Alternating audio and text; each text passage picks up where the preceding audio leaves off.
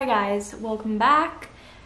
Today, wanted to do an updated what's in my makeup bag because I really feel like um, I've gotten it narrowed down to like my favorite things at the moment and doing my makeup takes me like 12 minutes I feel like uh, which is unheard of for me. I feel like I normally take forever to get ready. So, I mean, of course I have a lot more makeup than this, but these like make I just dropped it. These main products um, have been my faves and go-to recently and I like having it in a little bag and kind of swapping out things I'm loving at the moment.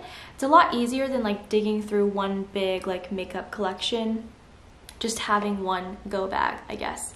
So it's also a little dirty because of course it's cream, but it's just like a cream and brown makeup bag from Amazon. Um, I love it and I've definitely downsized if you see my last one with the amount of makeup I have. So I'm very proud of myself. Anyways, these are my faves. Let's just get started.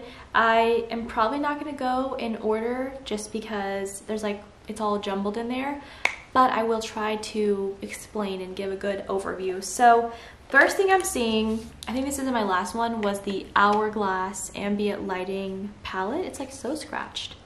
Anyways, I got this in the Sephora sale. I have the leopard one and I was like having a hard time adjusting to using this at first, I'm not gonna lie. But now that I've been getting used to like how I like to apply it and what colors I like and how to mix and match everything, I'm obsessed. And I'm wearing it today. I'm like very shiny, my little pimple, ignore that. But I love this. It's so good to have as like a travel thing. It has everything. So has the finishing powder, highlight, bronzer, and like three blushes. So really good. Ouch, I just pinched myself. And I like mixing the blushes. So I literally use every single thing in here every day. Um, I'm seeing a lot of brushes right at the top, so I'm just gonna grab those. Um, first, oh, I love this. This is the Morphe V106 brush. So it's like a really tiny brush. And I love this for precision blush or highlight or um, mid-tone blushing. So because it's so little it gets like really good precision with blush like right in there. Or I take like the Kylie mid-tone blush and put it in the middle. So this is versatile for a lot of things. I really like it. Um, this is a great brush. Also I've been using this to part my hair um, recently. So random but I love this really good brush. Next, um, for cream brush, I have cream blush. My gosh. For cream blush, I've been using this Rare Beauty, I don't think it has a number, but it's just the cream blush one. And it's really good for like just cream blush. It blends out, I mean, how many times can I say cream blush? really good for that it blends out that their liquid blush it also um, because it has like the duo fibers really nice and light and blends really evenly. And also, if I feel like my makeup is looking a little too powdery, I will literally take this, no product, just go in and go like this, and it adds a little bit more life and skin-like texture to my face, so good. Filled it again. Um, this is the like double-ended, I don't know what the name of it is, but the double-ended like big powder brush. I at first was struggling to figure out what to do with this baby, but I'm realizing I love taking the finishing powder on this side, doing it like all over my face before I do my um, the, the rest of my powder blush and contour and all that. And then this little tiny one, so it's small, but not as small as this one, good for just like my initial bronzing application, like here, or blush as well. So really good, and it just pairs really well with the palette because it's like super light to the touch and doesn't pick up a ton of product, which is what I like because I don't like I like to build, I don't like to have like a big blob on my face, you know? Then um, I have the Patrick Ta, I think it's the double-ended contour. So this side for cream, this side for powder. It's obviously amazing. I like using this more with the Charlotte Tilbury bronzer but I've been using this with my cream bronzer a lot. It's like just, it blends really quick, blends in like two seconds, really good. This will always like, this will always be a staple, I feel. Um, recently I got this BK Beauty 202 like eyeshadow brush because I wanted an eyeshadow brush for like a little bit denser for like applying whatever on my face. So I only like to do like one shade really. I don't like to do too much eyeshadow and I normally just use my bronzer. And this is dense enough to where it does like a good application, but it also has accuracy and you can blend with it. So I love all of that and I love this brush. I placed a single order with like $7 shipping just for this thing, but worth it. This is new actually. I just got this. It's the Tarte Foundation Kabuki brush.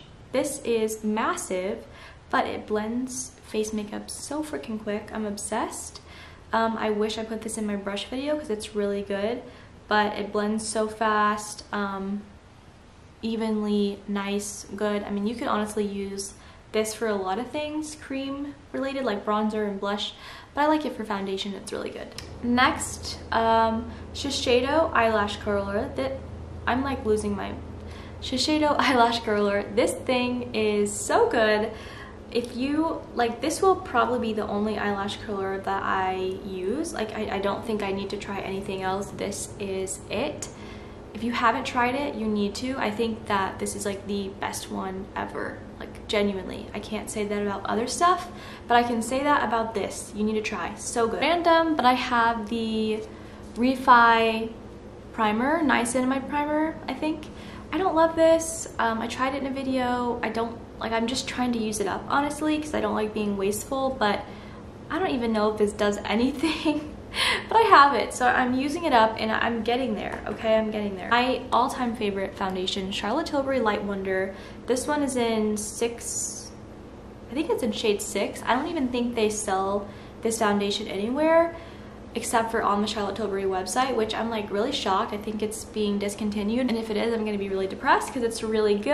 I have this in two shades and it is just amazing. And this one's for olive skin, I think, but I think it looks really good. Like so natural, so beautiful, very small amount of coverage, but like you, it looks like your skin. It looks so good. Next, uh, contour, cream contour. This is the Tarte Sculpt Tape, very similar to the Charlotte Tilbury one, packaging the same. This one's in cool bronze. I like this for how quick and easy it is to apply, and I like the color and how easy it is to blend out. What I don't like is the packaging. Like it's nice to use, but it gets really messy um, no matter how much I clean it. So that's annoying. But other than that, like I really do like it and I'd probably repurchase it. I have an assortment of powder puffs and a beauty blender in there. So kind of dirty, but those that's what's in there. Uh, ooh, loose powder. Okay, so this is the one size translucent setting powder. I've tried so many setting powders at this point, I don't even know.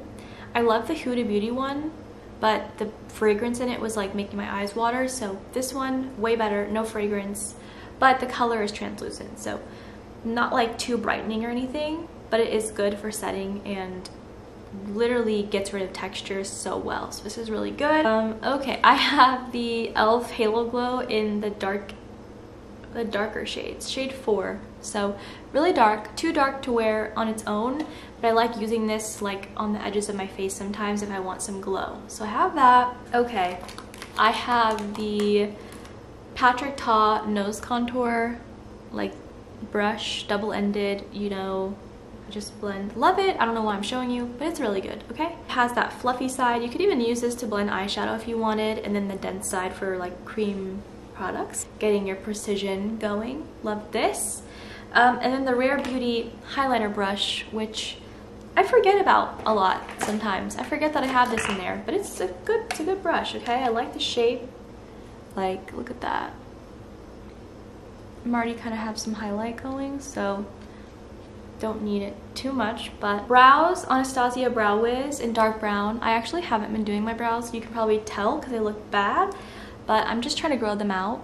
So I've just been leaving them alone, but I do want to grow them. Charlotte Tilbury Airbrush Flawless Finish. This is literally a dream product. Like you need it in your life. This is in shade one. I feel like I'll never go up a shade. I think one is where I'm at because it's good for like lightening and brightening under the eyes. I love this for clearing any texture. Super good, amazing. I don't know another pressed powder that like I love more than this. I think that is the one. Um, I have this freckle pin from Amazon. Way better and more natural looking than Freck, okay? I'm just gonna say it. Have it on today. I also do have real freckles, so this just adds more freckles and it looks real. So this is this is it, okay? Especially when it starts to dry out. You can't really see, I added some freckles right there, but it looks really good. I have the Hourglass Vanish Concealer. This is in shade, I don't know actually, the sticker came off, but it starts with an S. So it's okay. I actually don't love this as much as people hyped it up to be, but I'm trying to use it up. So have that. Um, it's okay. Okay, the Dior Forever is better. Way better if you're trying to get an expensive concealer. Maybelline Lifter Gloss. This one's in Gummy Bear. I actually got this from my mom, but it's really pretty. And yeah, it's good. It's good gloss. Um, okay, three more things. I have Latisse. This is not makeup, but I have it in there. Okay, eyelash serum. Then the NARS Orgasm Cream Blush. Okay, this stuff is really good. I love the powder version and I want to try the cream version. Does not disappoint. Very sheer though, I will say. So if you like the sheerness, not a lot of pigmentation, this is your girl really good. And last but not least, my um, mascara.